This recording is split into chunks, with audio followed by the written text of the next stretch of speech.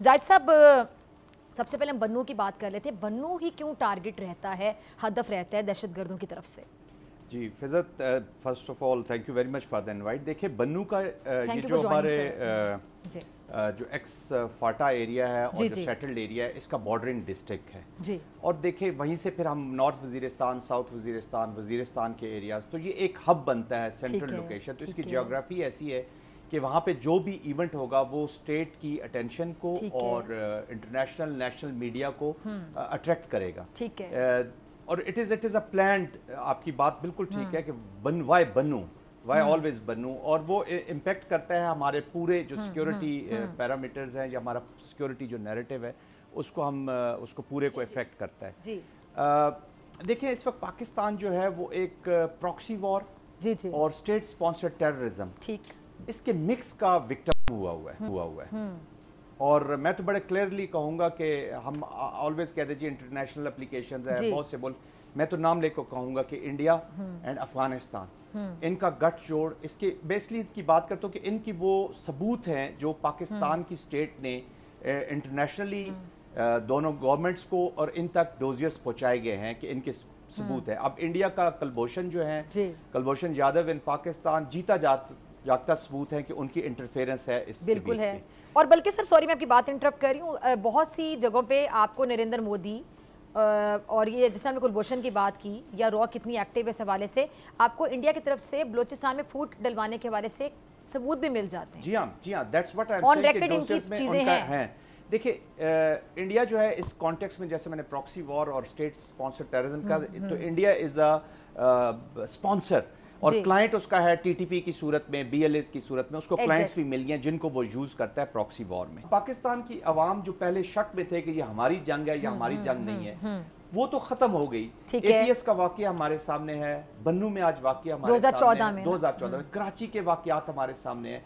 इस्लामाबाद के hotels Marriott hotel हमारे सामने हैं पीसी हम्म। हमारे सामने है। आज जो 12 हमारी शहादतें हुई हैं उनमें बलूचिस्तान के सोल्जर्स भी हैं उनमें हम्म। पंजाब के सोल्जर्स भी हैं उनमें खैबर पख्तूनख्वा के सोल्जर्स भी हैं। हम्म। गोया के खून किसका बैर है? पाकिस्तानी का एक मुसलमान का। मुसलमान का चेहरा मस किया जा रहा है। अब ये लोग फ्रेंचाइज के तौर पर इस्तेमाल होते हैं। They are available to the international community पैसे के लिए ये काम करते हैं क्योंकि हराम मौत मरना सुसाइड अटैक्स औरतों को सुसाइडल बॉमर्स बनाना ये हमारे कल्चर रवायात न पख्तून रवायात में ये चीज़ है न हमारी ब्लोच रवायात में ये चीज़ है।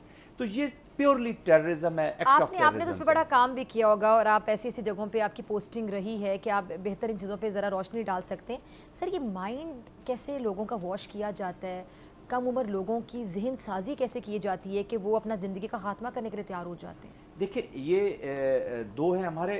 अनफॉर्चुनेटली हमारी जो पाकिस्तान इस वक्त डॉक्टर बल्कि अगर मैं गलत नहीं आप वॉर विक्टिम भी है ना? जी जी मैं बाजोड़ में 2008 में तो आई लॉस्ट माय लिम मेरी एक मैं चाहती हूँ ज़रा ये वाक्य आप शेयर करें ताकि लोगों को पता चले कि कितनी कुर्बानियाँ होती हैं आप लोगों की हमारे फौजी भाइयों की वतन की हिफाजत के लिए। जी डॉक्टर साहब देखिए ये तो पहले मेरा फ़र्ज़ था मैं इस पे ज़्यादा ये मैं चाहती हूँ आप जरा वाक्य आप थोड़ा सा शेयर तो कर दें हमने यंगस्टर्स के लिए मैं चाहती हूँ कि आप शेयर करें कि आपने आप आप एक जी। 2007 में जी ये वाक्य 2008 में ये वाक्य हुआ। आई वॉज़ लेफ्टिनेंट कर्नल और मैं कमांड कर रहा था अपनी unit sixty three twenty force Bajaur में जी।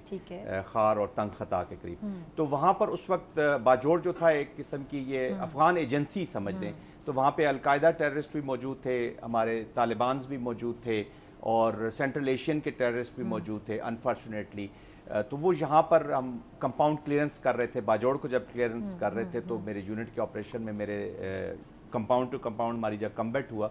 तो मुझे वहाँ पे एक मोटर शेल लगा वाइल कमांडिंग माई ट्रूप्स तो जब मैं जख्मी हुआ तो उन्होंने वो लोकेशन जहाँ पे मैं जख्मी हुआ तो वो रेड की एनिमी ने। मैं इस प्लेटफॉर्म से तमाम लोगों से मुखातिब हूँ कि ये हमारी कुर्बानियाँ जो हैं शहदा की कुर्बानियों को प्लीज़ अपने तरह तरह के कॉमेंट्स के साथ रायगा ना जाने दें। शहदा की जो फैमिलीज़ हैं उनके जो लवाहिकीन हैं उनकी दिल आज़ारी का सिलसिला बंद हो जाना चाहिए। सर प्लीज़ कंटिन्यू अच्छा अभी ये अफ़गानिस्तान जो उसका अमल दखल बाकायदा जितने भी ये वाक़ात हैं इनमें मैक्सिमम वाक़ात में अफ़गानिस्तान की सरजमीन इस्तेमाल होती है और ये सबको पता है। पाकिस्तान जिस हद तक एफ़र्ट कर सकता है इस मामले को हाईलाइट करने के लिए वो भी किया। फिर इन लोगों की जो वापसी थी उसके भी इंतज़ाम मुकम्मल में वो वो एक सख्त फैसला था लेकिन करना पड़ा। मुझे याद है चीफ ऑफ़ आर्मी स्टाफ उन्होंने भी बल्कि खिताब में बात की थी कि जब हम एहसान करते हैं किसी पे तो हमारा मज़हब भी कहते हैं कि एहसान का जो बदला है वो अच्छाई के साथ ही दिया जाता है लेकिन हमने इनके पर इतना एहसान किया लेकिन हमें बदला क्या मिला? वो सबके सामने है। अफ़गानिस्तान को सर दबाव में पूरे तरीके से दबाव में कैसे लाया जा सकता है कैसे मुमकिन बनाया जा सकता है